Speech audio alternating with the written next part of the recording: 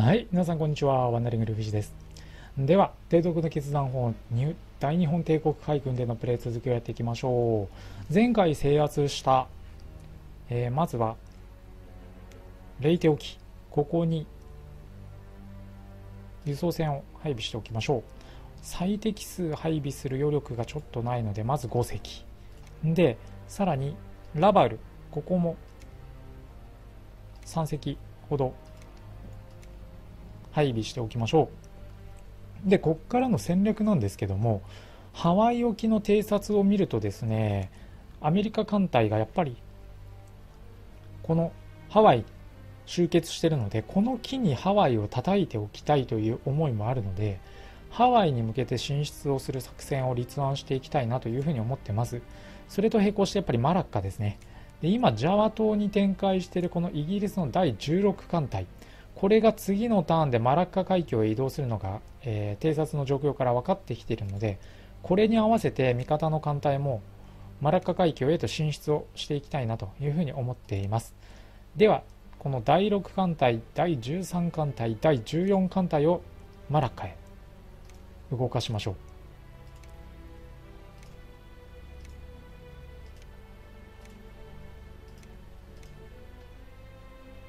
でそれに合わせてですねトラック沖に展開中のこの第12艦隊はもうラバウルへ移動する必要はなくなりましたのでこのままトラックに停泊させます。でえっと第1艦隊と第2艦隊ですね。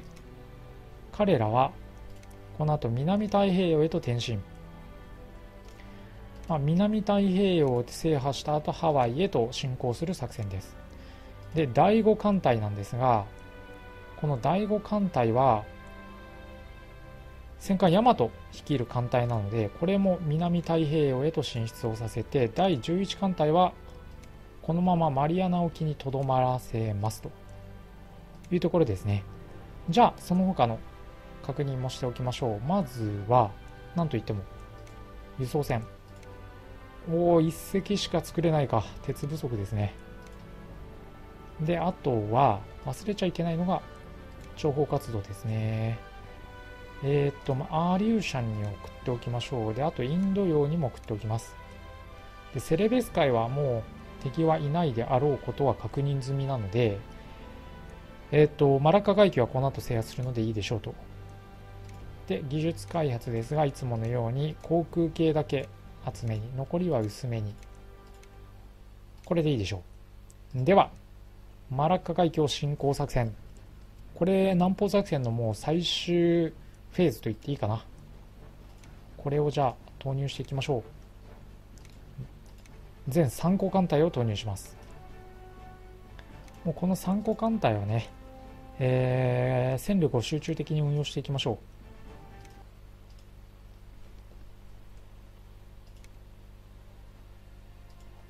う。で敵がどこにいるか正直わからないので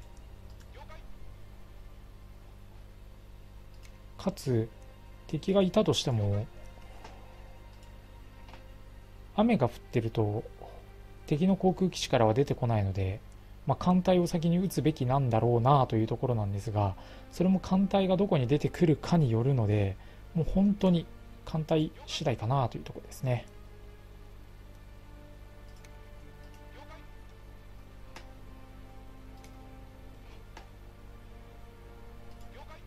雨が降ってるうちに敵のやっぱり航空戦力出てこれない隙を縫って先に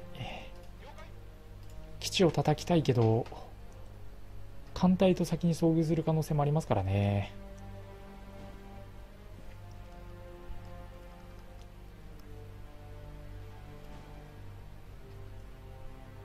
まあ、敵の艦隊を見つけるのが先か敵の航空基地を見つけるのが先かはたまた雨が止んで敵の航空基地から大量の攻撃隊がこちらの艦隊に向かってくるのが先か。わからない。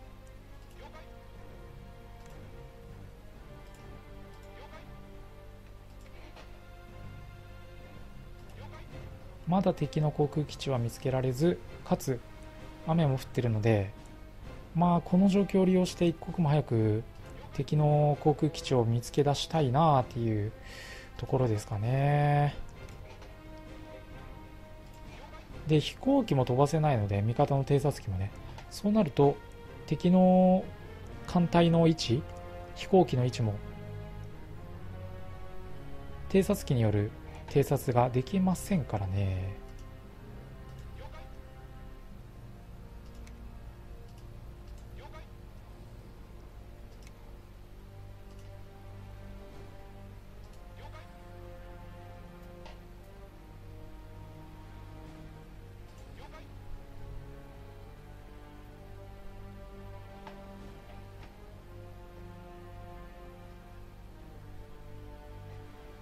までの艦隊行動としてはまあ悪くはないかなっていう感じですけどね。ちょっと第1艦隊の頭が第2艦隊に抑えられて邪魔っ子になるんでちょっとずらしましょう。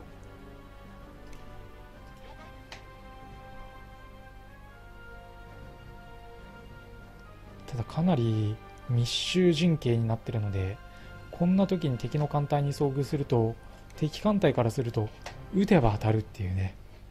そういう状況になりかねない怖さはありますが。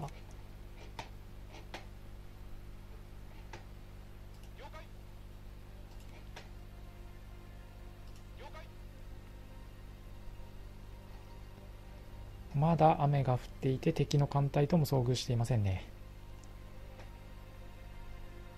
ここに敵のイギリス海軍第16艦隊が展開しているのは確認済みなのであとはその艦隊とどこで遭遇するか。できれば駆逐艦による魚雷で一気に敵艦を葬り去りたいところで戦艦部隊は敵の航空基地の攻撃に専念させるというのが理想的な展開ですよね。なのでいつでも魚雷攻撃できるように駆逐艦には準備をしておいてもらいたいところですけどね。まだ敵の航空基地発見できずか。敵の艦隊もいない。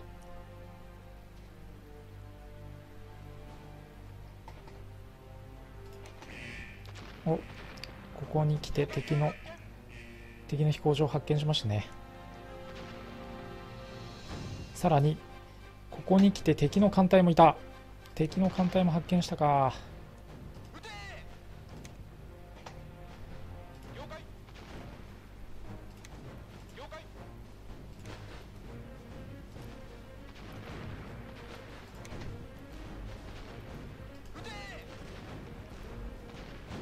第3艦隊が並行しながら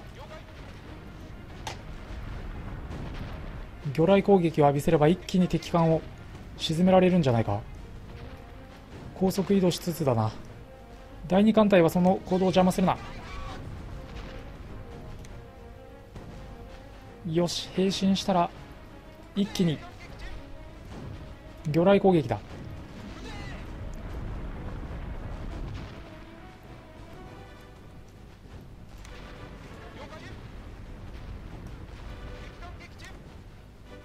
これはかなり理想的な包囲戦術ができてるんじゃないか？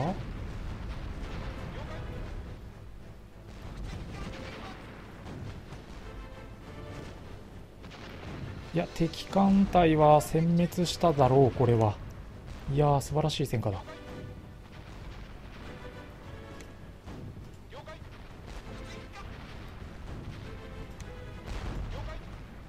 よし敵の第16艦隊は完全に沈黙させたな。そしたらこちらは第3艦隊の方がいいかな。第3艦隊を使って、えー、他に航空基地がないかどうかの偵察に向かわせましょう。で残りの艦隊で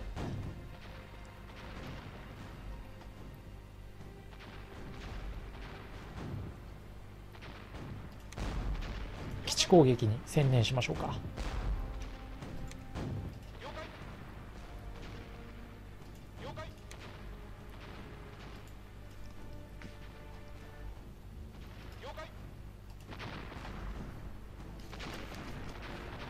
いやー、さっきのマラッカ海峡海戦は、マレー半島沖での海戦はかなり理想的な展開でしたね。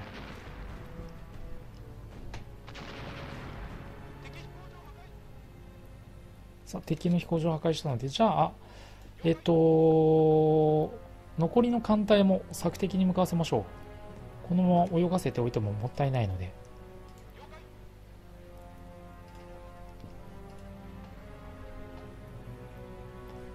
もうここで敵の艦隊がいないのは確認済みなので、えー、残りはあとは航空戦力を叩く。敵飛行場の破壊ですね。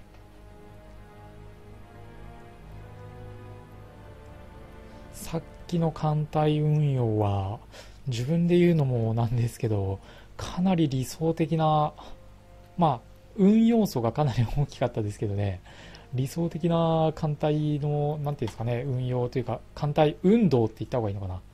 理想的な展開をお見せすることができたな。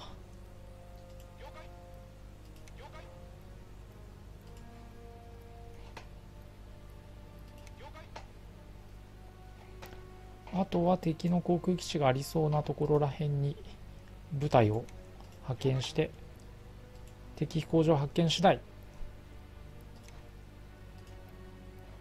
その破壊に当たりましょう、まあ、おそらくマラッカ海峡だと3つあるんじゃないかなと思うので敵の飛行場が。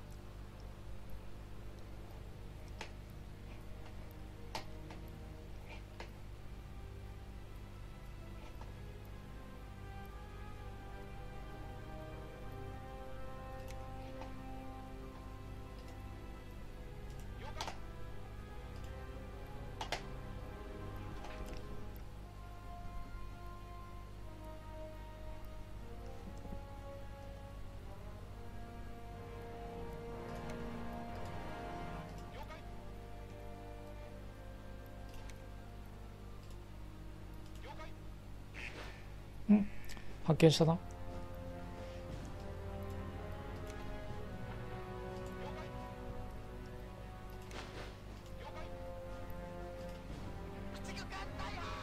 そしたら第二艦隊の方はこの基地の方に差し向けましょう。駆逐艦の艦砲射撃じゃね正直言って話にならないので。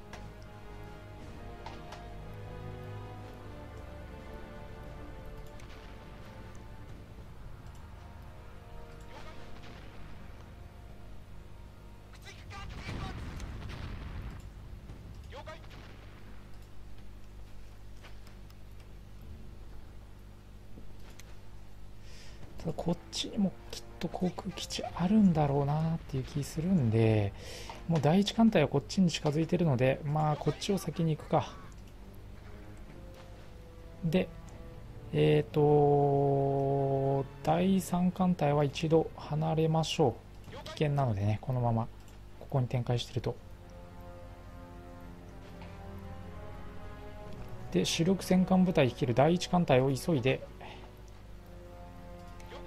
索敵させましょう。この辺りにおそらく基地がもう1個あるんじゃないかという予想はしてるんで。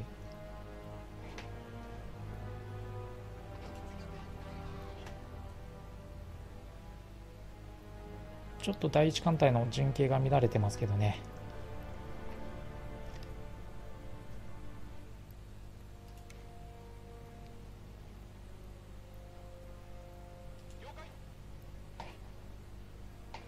少の損害を受けててもマラッカは抑えたい。第一目標ですからね。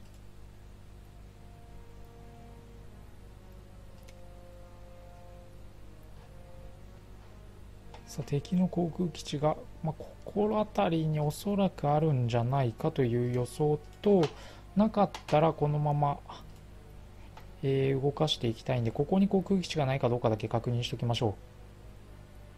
ここに航空基地がなければもう残された可能性のある場所はここだ。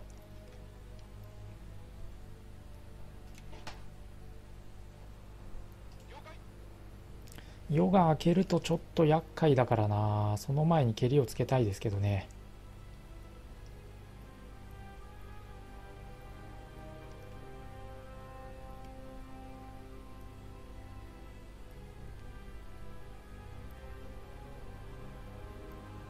とはいえ夜が明けてきますね。いやー怖いな。敵の艦隊は殲滅したけど。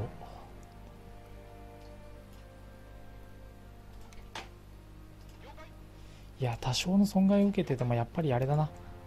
このままだと時間がかかってしょうがないので雨も降ってきたしこれは天運割にありということで攻撃隊を出していきましょう。うん。敵の航空基地に再度接近していきましょう。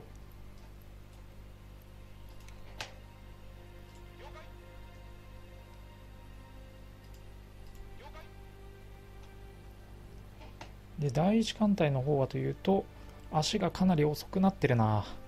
機関を損傷した艦艇がいるのかな。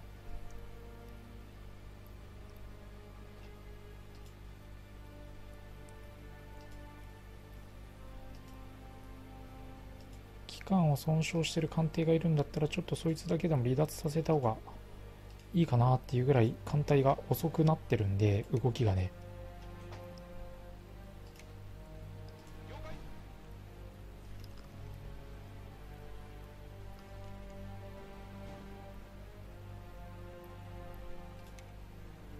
基地はなさそうかな。この下がちょっとまだ入ってきてないんでどういう状況かですね。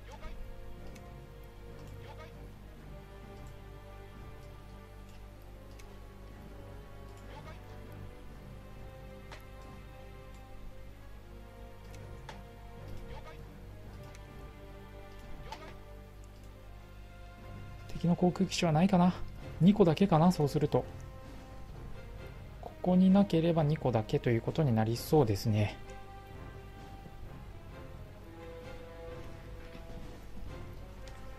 どうやら敵の航空基地は2個だけな感じなのでああ晴れてきちゃったがあとはここかな。あるとすれば。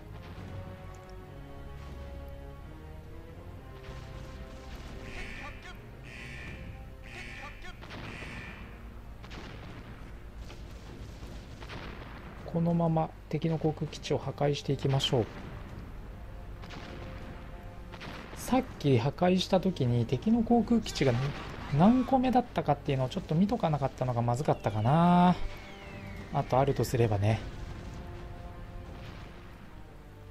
じゃあちょっとこっちの方面へと移動していきましょう。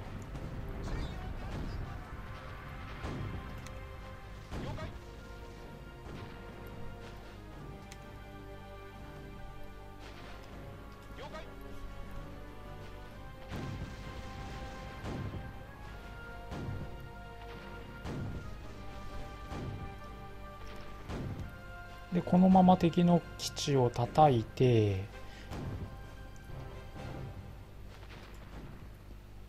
そうか。今だったら味方の偵察機も飛ばせるんでこの辺にないかどうか。偵察機を飛ばしましょう。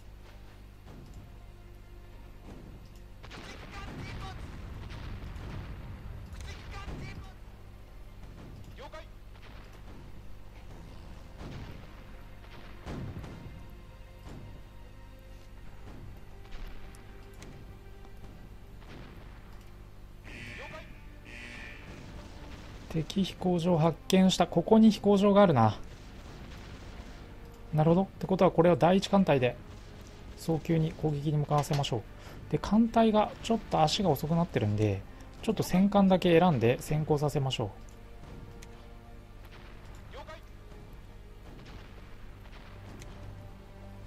まあ、割と近くてよかったまだ。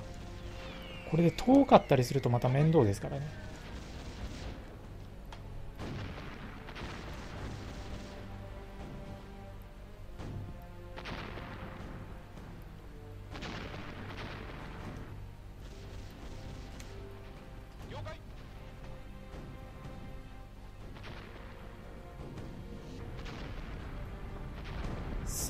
雨とか降ってきてくれると楽になるんだけどな。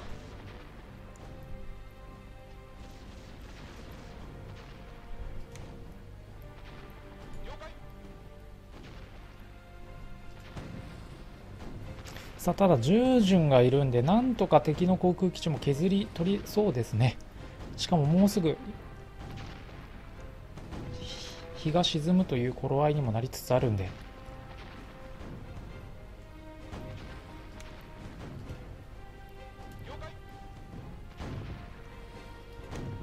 そしたら全艦艇を最後の航空基地に向けて移動させましょう。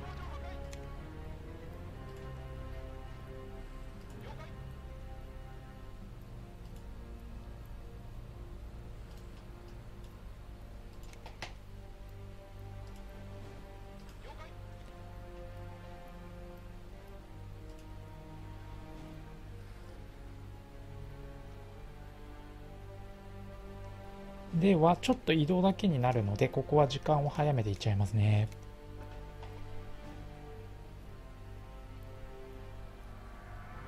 いやマラッカ海峡を取れればだいぶね楽になりますよね。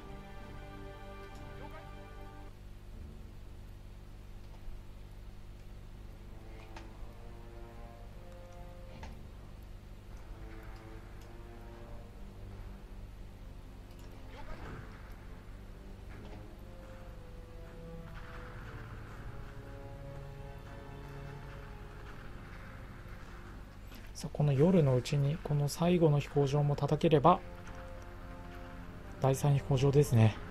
マラッカ海峡も取れたか。やっぱ敵の艦隊をねまあ戦力比でいうと1個艦隊 VS3 個艦隊っていうのはありましたけど損害ほぼなく敵艦隊を撃滅できたのは大きかったですね。というわけでマラッカ海峡を取りました。さあ損害確認していきましょう。まず敵の第16艦隊は全滅。ただ味方も、まあ、少なからず損傷が、まあ、出てはしまいましたね。まず第6艦隊から駆逐艦2隻。これが撃沈です。であと重巡洋艦が2隻大破。第14艦隊からは駆逐艦が、えー、合計8隻撃沈。されてますね。